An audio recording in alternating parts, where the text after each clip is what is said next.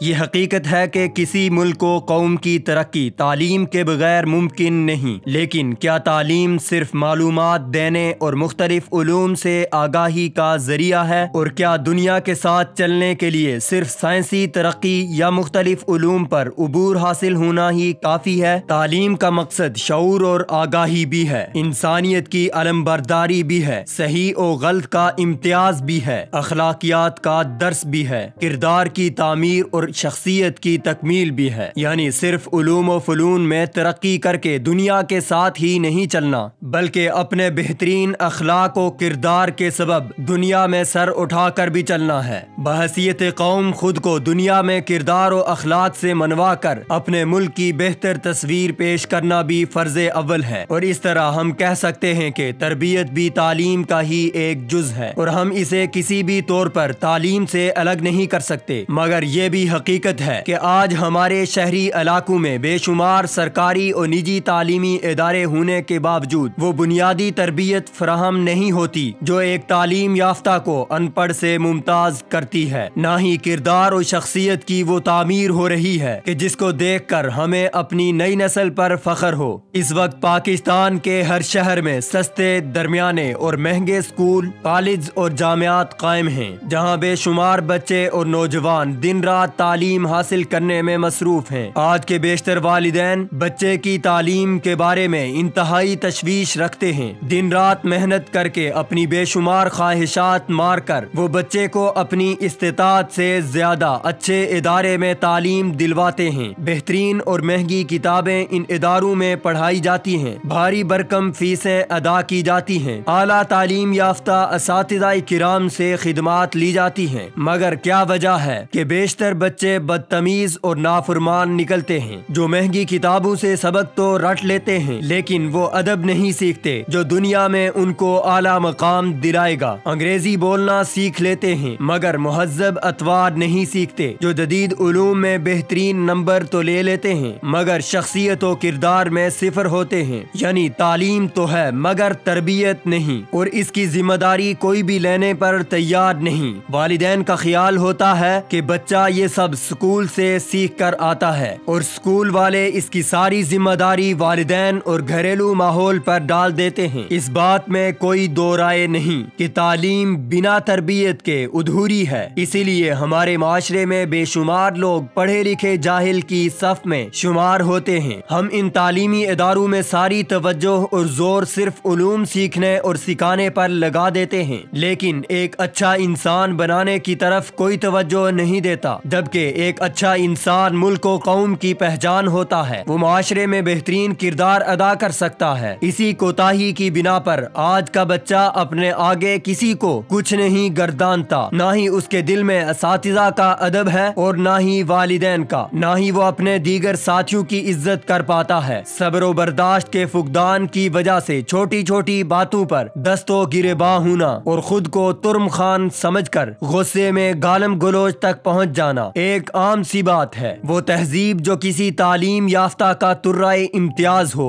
اسے چھو کر بھی نہیں گزرتی۔ روزانہ ماں باپ بھاری بھرکم بستہ کمر پر لاد کر اسے سکول کی جانب ہانک دیتے ہیں اور وہ کسی کولہوں کے بیل کی طرح سکول آتا ہے، سبق پڑھتا ہے، کام کرتا ہے۔ اساتذہ کا مذاق اڑانے سے لے کر ساتھیوں سے لڑائی جھگڑے تک کا روز مرہ نمٹا کر بنا کسی اخلاقی اور انسانی درس سیکھے، گھر روانہ ہو جاتا ہے۔ یہ وہ طرز عمل ہے جو بیشتر جگہ رائج ہے۔ اور آئندہ دس سال بعد جب یہ نسل ملک و قوم میں نمایاں کام سر انجام دے گی، تو انسانیت اور اخلاقیات کا جنازہ ہم اپنی آنکھوں سے دیکھیں گے۔ والدین اپنی گونا گوں مصروفیات کی بنا پر اساتذہ سلیبس کے انبار میں دبے۔ جلدی جلدی نصاب ختم کرنے کے چکر میں اور تعلیمی ادارے کی انتظامیہ صرف کاروباری ترقی کے دائرے میں محدود رہ کر نئی نسل کے ساتھ جو ظلم کر رہے ہیں، اس کا ادراک آج سے کچھ سال بعد ہوگا۔